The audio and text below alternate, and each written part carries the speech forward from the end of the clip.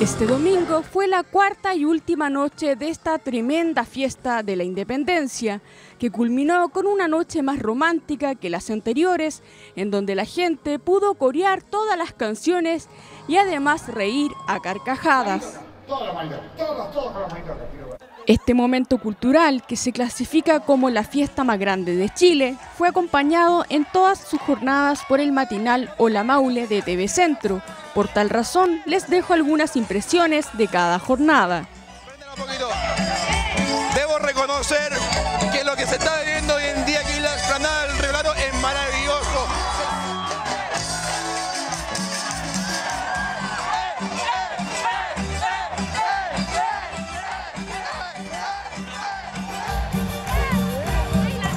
El día viernes estuvo marcado por la banda trasandina Amar Azul, siendo una noche de cumbia villera, en donde el vocalista de la banda se emocionó con los más de 150.000 asistentes ese día que corearon sus canciones.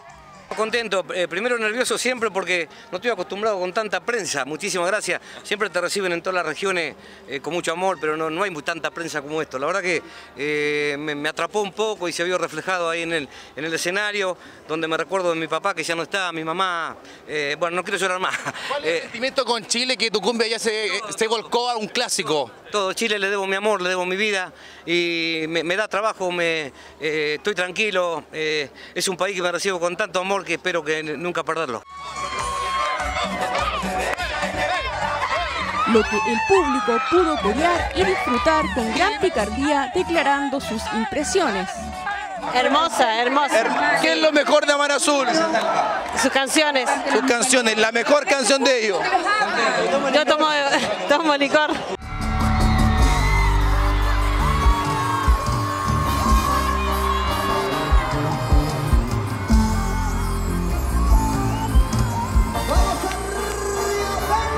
Esta noche, que se empoderó de la gran magia tropical, también participó el cantante chileno Jordan, en donde el público también pudo cantar sus canciones, lo que se convirtió en una noche maravillosa para el vocalista. Fue una, noche maravillosa. Estas palabras suenan a cliché, yo creo que todos los artistas las ocupamos, pero es que es verdad. Eh, yo lo pasé increíble, eh, fue un momento de conexión con el público súper lindo. La gente de tal que es bien exigente. Yo ya me había tocado alguna vez, alguna otra oportunidad de venir acá y más, más, nuevito, ¿ah? ¿cierto? Buscando un poquito la identidad artística y, esta noche evidentemente tiene un sentido eh, mucho más especial. Eh, estoy súper contento, me he enterado, bueno, fuera lo que uno siente en el escenario, que, que nos fue muy bien, que, que el público está muy contento, que la sintonía estuvo muy buena, así que eh, ese es el mejor reconocimiento que puede tener un artista. En cambio, el sábado tuvo un vuelco más romántico y picaresco, al estar marcada la jornada con la participación del mexicano Pedro Fernández, que a más de un asistente lo hizo llorar con su música mexicana y la elegancia de su traje blanco. Son todas bonitas. Todas bonitas. La música mexicana es muy bonita. Mándele un saludo a todas las mujeres, por favor, que aún creen en el amor. Pero por supuesto, yo creo que el día que no creamos en el amor, no estamos creyendo en nosotros mismos. Mucha razón, maestro. ¿Ah? ¿Cuántas mujeres tuvo en su vida? Una nomás, porque yo soy ratón. Un hombre derecho. Un hombre derecho. Llegando a ver a Pedro Fernández de Jalisco. ¿Qué le pareció el país? Esto es una fiesta que gratuita. Hermoso, tal, hermoso. Maestro tenía que cantar y bailar adentro de esta cuestión.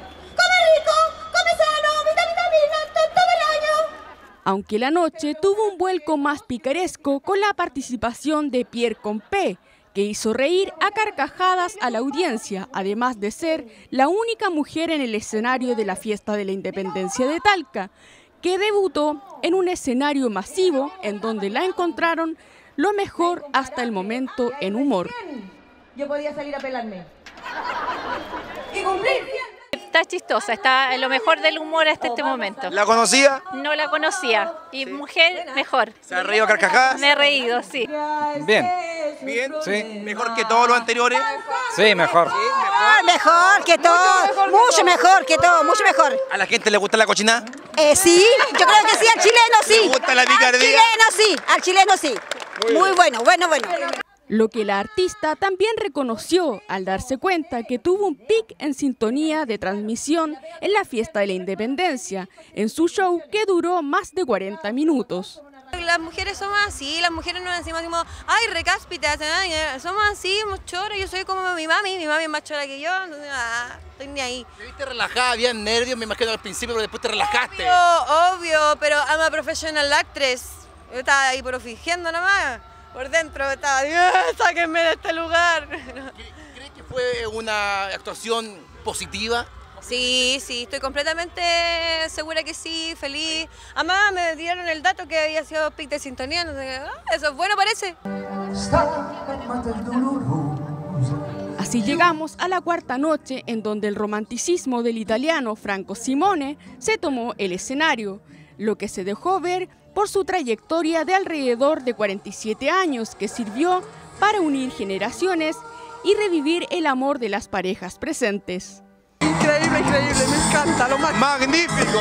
Increíble, lo máximo, muy bueno. ¿Qué, ¿Qué, te recuerda? ¿Qué te recuerda? Mucho mi infancia, son canciones muy antiguas y me recuerdan mucho mi infancia.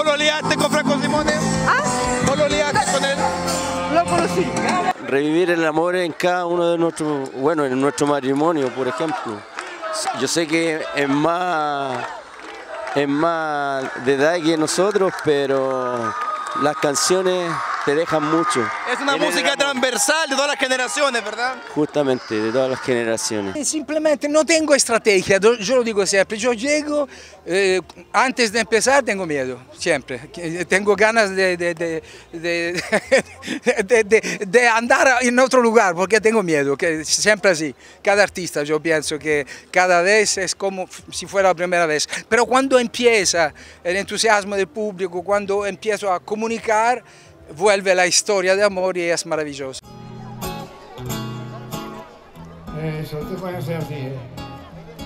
Esta jornada de domingo terminó con el humor diferente de Hugo Varela, el cual es un humor un poco más familiar que supieron apreciar los asistentes de la jornada. Buena, muy buena. ¿Lo mejor? Sí, la mejor. ¿Cuál es su nombre? María. ¿Lo conocía? Sí. ¿Qué le parece? Bueno, porque es humor sano, que lo pueden escuchar niños y grandes. Todo el mundo. Sí. JC Johansson. ¿Cuánto? JC Johansson. Oye, ya veo que tiene muy bien. ¿Y esos ojazos son suyos? Eh, sí, son míos. ¿Qué le pareció el humor hoy día, mi amor? Muy bueno, porque un humorista eh, familiar, ya que hay niños, hay mujeres y no es grosero, pero es muy bueno.